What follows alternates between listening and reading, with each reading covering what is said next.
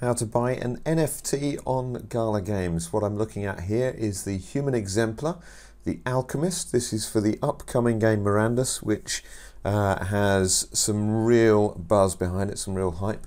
And the reason I'm buying this is because there's going to be a Voxbox, a drop in just four days' time as well. And if I manage to get a Voxbox, uh, it will increase the power if you own the corresponding human exemplar that goes with that. So I haven't got the Alchemist at the moment, so I'm going to order this one. So how do we get there first? So we go to the store, we go to Mirandus section, and uh, we look for exemplar, exemplar. So we type in exemplar, exemplar, even type it right.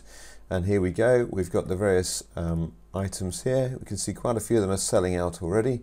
But here's the Alchemist, 907 Gala coins. There's 144 left at this current price. There's only ever going to be 2,500 in uh, creation ever.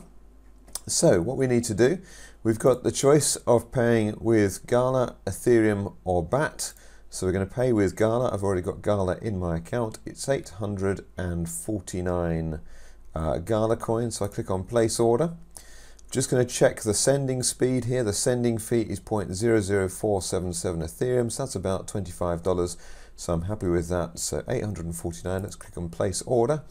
Then we need our transfer code. When you first set up your account with Gala Games, uh, you will have been given a transfer code. Make sure you do not lose that transfer code. You can recover it with your seed phrase, but if you've lost your seed phrase and your transfer code, that is you really scuppered because it's not recoverable.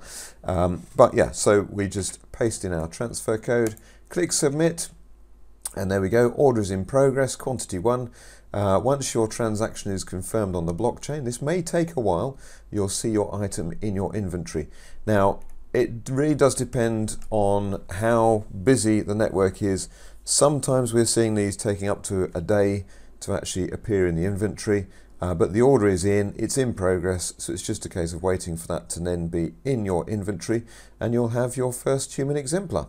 Thanks for watching. If you'd like more videos like this, do uh, subscribe to the channel, give me a thumbs up, ask any questions you want, and I'll get back to you, and I'll see you on the next video. Thanks for watching.